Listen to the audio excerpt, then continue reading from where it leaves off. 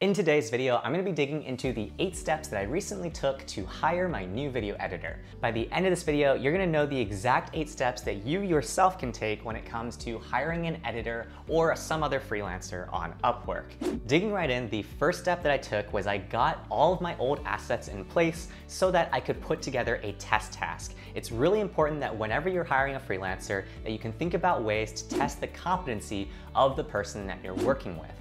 So in my situation, I had a former video editor that was moving on because of some scheduling conflicts. And so what I asked him to do was to put together a folder of files for, of all the assets that he had used over the last year and a half.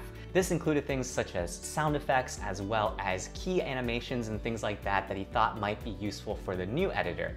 That way I could share that assets folder with the new editor candidates as they were completing a test task. In order to do this, I leaned on Frame.io. In case you don't know, Frame.io is an awesome tool that you can use when it comes to collaborating between you and different video editors. It's a great way for you guys to stay in sync in terms of all the comments you guys may have, as well as other things related to your video projects. The second thing I did was I went ahead and set up the instructions for a test task for all of my potential editors. This is where I detailed the instructions of exactly what I wanted in order to assess their competency in video editing. In my case, I gave a few minutes of raw footage of one of my upcoming Facebook Marketplace videos to essentially dig into that content and see how the editor was going to edit that raw footage. I wanted to get a sense as to what sort of style that particular editor would have. And so I would keep that folder on frame.io and then share that link to all the different editor candidates later on. But first, I needed to make sure that everything was in the same place. That way they would be prepared when I was ready to make my listing and invite them to my test task.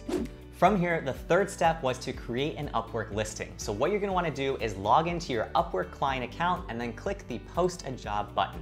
From here, you're gonna be able to create a job that's either short-term or longer-term work, and then detail all the things that you want about your particular project. So at this point in time, you're gonna wanna cover things like what exactly the job is, how much is your budget, what's your timeline, what's your style, as well as any other helpful information that might be useful for your particular task. In my situation, what I did was I included that I was looking for a video editor, YouTube talking head videos, 10 to 20 minutes, and that I was looking for video editing. Then from here, what I did was I selected a few of the key skills that my ideal candidate might have. So I included things like Adobe Premiere Pro, as well as audio editing, video post editing, and things like that. And then what I did was I dug into the scope of my project. So this is where I wanted to say that it was a medium-sized project, there were some general deliverables, and I was looking for an intermediate skill level as well as more than six months in terms of experience. From here, what I then did was I selected the key location of where I wanted my freelancers. In my situation, I was looking for worldwide talent because I knew that for my budget, I would get more bang for my buck by looking at worldwide talent. And then from there, what you're gonna wanna do is you're gonna wanna go ahead and set your budget. In this case, I was budgeting between 40 to $45 per video just based off my past experience with my last editor. So when it comes to your listing, you wanna make sure that it's really easy to understand exactly the sort of work that you need done. You wanna talk about exactly what the deliverables are, as well as what your budget is, as well as the ideal candidate for your position.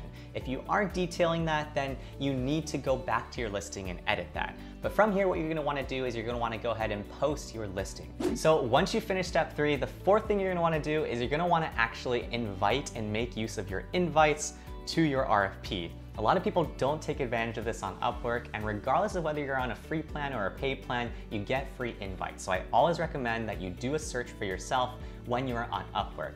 To do that, you're going to go into the top search bar and then search for talent, and then from there you can search for whatever it is you're looking for. In my example, I was looking for a video editor, so I went ahead and just searched for video editor.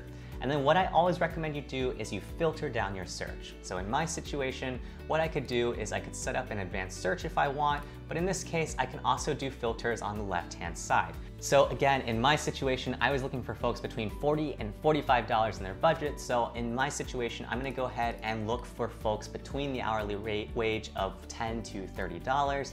And then from here, I'm gonna look for job success over 80%.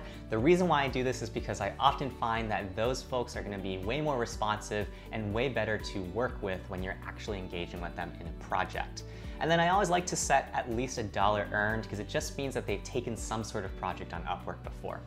And then from here, you can keep filtering if you'd like, but what you can do is you can essentially go through the results and then invite people to your project. And when you invite people to your project, you'll then be able to send that particular RFP directly to their inbox. And every single account gets these free invites, so I highly recommend that you make use of that because that's how you're gonna get the attention of some folks that may otherwise not actually see your original RFP. Before we head into the fifth step that I took to hire my new video editor, if you're finding this video helpful, hit that like button below to help other people find this video too.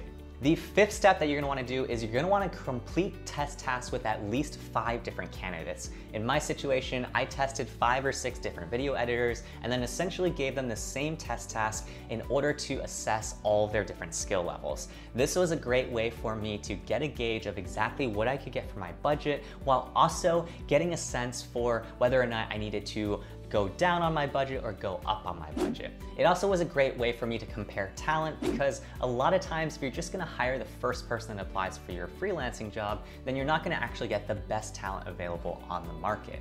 That leads me naturally to step number six, which is to make sure that you go through at least one round of feedback throughout your test task. It's really important that you incorporate this into your test task because essentially what's gonna happen is you're gonna be able to get a sense for how the two of you guys communicate with one another. In the case where you're giving feedback and they're not able to understand that feedback, then you're only gonna get even more problems in terms of communication later on in your actual freelancing relationship. So I always use this sort of one round of feedback approach in order to see exactly whether or not the two of us get along and from there make a decision in terms of whether or not to hire that person to my team. That leads us to the seventh step, which is at this point, you should have some general samples in place and you should be able to compare the work products of all the different people that you're considering for your job. So in this situation, I compared all the different final products of a few of the different editors and I essentially ranked ordered them by preference as well as got second and third opinions from different friends of mine to see exactly what they thought would be the best video editor for me.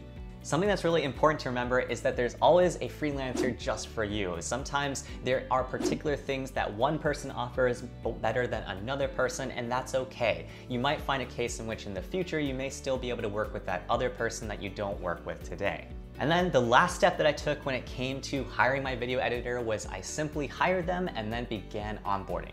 So at this point in time, when I was going through the test task, I actually already started a contract with them because it was scoped out to just a test task. But the next thing I did was I activated our full-on milestone and then we began editing away. So I set him up with frame.io, gave him some documentation in terms of my Notion boards, and then onboarded him into my process of creating videos. So the same thing applies applies for you in that if you are hiring for a freelancer, you're gonna wanna make sure that you have really clear SOPs. That way they can use those SOPs to get onboarded really, really quickly. And that's pretty much how I've had a new video editor since my latest batch of Facebook Marketplace videos. If you got value of this video, hit that like button below, subscribe for more content like this, and if you wanna see the exact product of what he came up with, check out that video over here so you can see exactly what is different with my new video editor. See you guys over there.